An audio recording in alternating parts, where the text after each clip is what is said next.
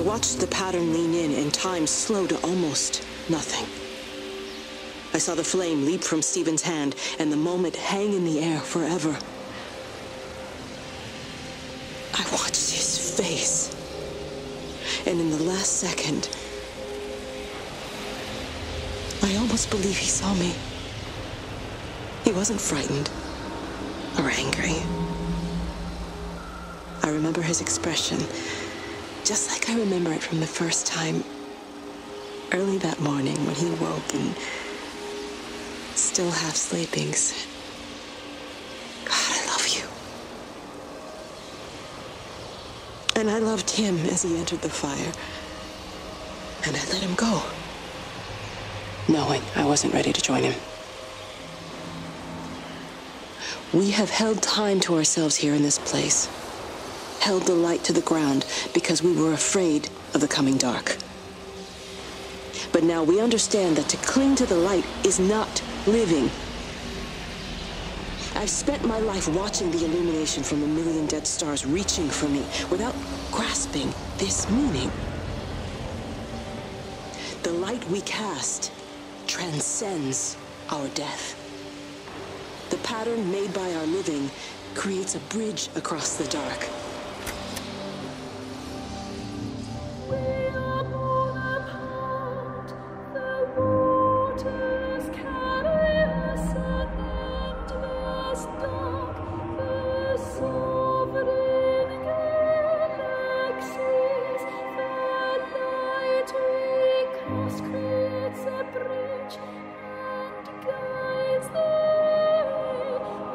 The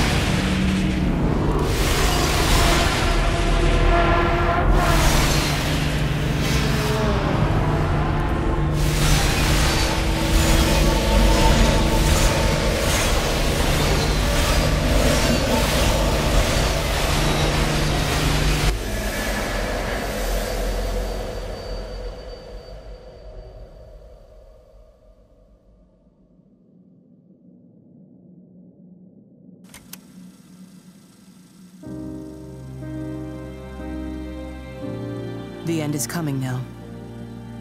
I'm not afraid. We have each other. We lived apart from them. We understand now our failure to touch, to belong. But it doesn't matter anymore. Everybody is gone, and we will join them. We are born apart, driftwood on the banks of an endless dark ocean, and we will be carried away by the swell soon enough. But in between,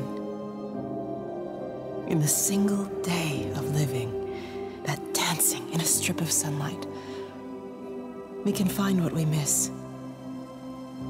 The love that makes us whole. The imminence. Everybody found their other. This pattern is mine.